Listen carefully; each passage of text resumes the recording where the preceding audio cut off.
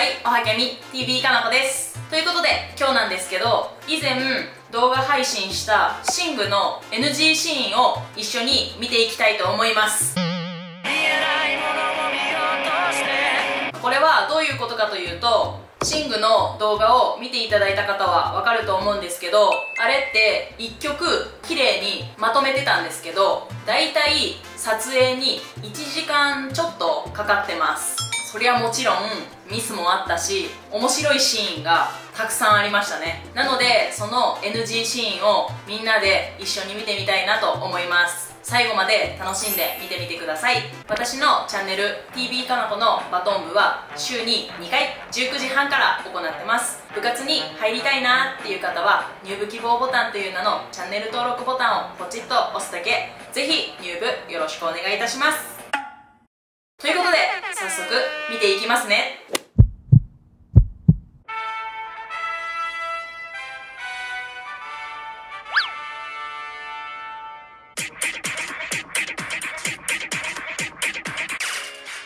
じゃあ早速見ていきたいと思います。今日は3つ用意してます。皆さんにたくさん笑っていただいて楽しんでもらえたら嬉しいです。じゃあまず第3位から発表していきますね。いきます。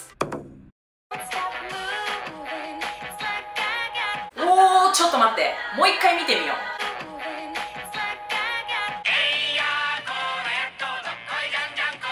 ちょっとやばくない？トンと手までの距離がめっちゃ遠いですね。まあなんか外だからやりにくいっていうのもあったし久しぶりにイリュージョンをしたっていうのもあってなんかめっちゃ難しかったです。でもシングの1曲すごい良かったでしょ？結構自分で編集してても感動しましたね。次いきます。おお スローで見てみようなんでさこんな笑顔なん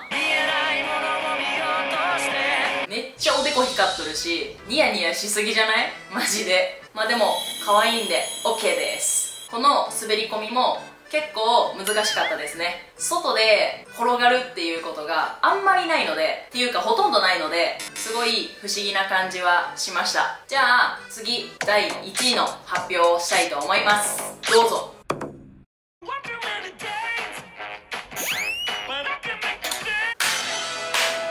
何今の？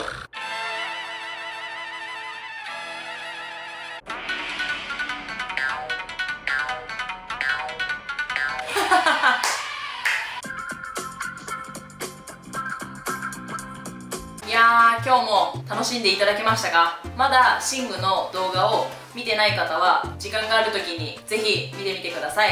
ということで今日はいつもと違った NG シーンを皆さんと一緒に見てみました。この動画がいいなーって思ったら評価グッドボタンとチャンネル登録よろしくお願いいたします。あと LINE 公式アカウントの方でバトンのトレーニング動画について配信してるのでぜひ友達追加よろしくお願いいたします。ということで今日も最後まで見ていただきましてありがとうございました。TV かなこのじゃんけんタイム。いきますよ。最初はキャミキャミじゃんけんほい。メルスティー。